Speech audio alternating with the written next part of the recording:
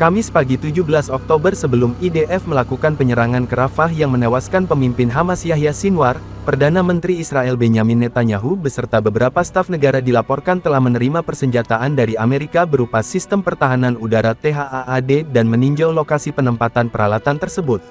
Sistem tersebut didatangkan bersama puluhan tentara Amerika yang rencananya akan turut ditempatkan di lokasi untuk menjadi operator. Sistem pertahanan udara ini disebut akan menggantikan radar yang sebelumnya terkonfirmasi telah diledakkan oleh rudal hipersonik Iran.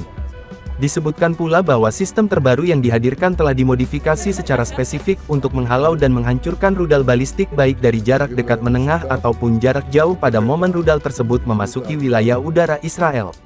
Sayangnya sistem ini belum mampu untuk menangkal rudal hipersonik atau rudal jelajah yang lebih canggih.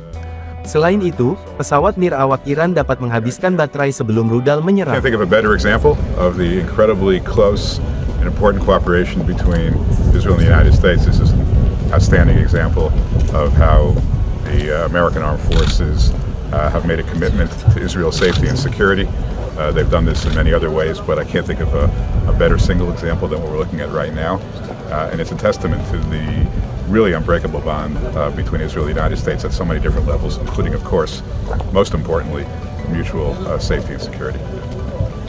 Well, I, I fully agree. I think this is a, a testament to the strength of the alliance between Israel and the United States.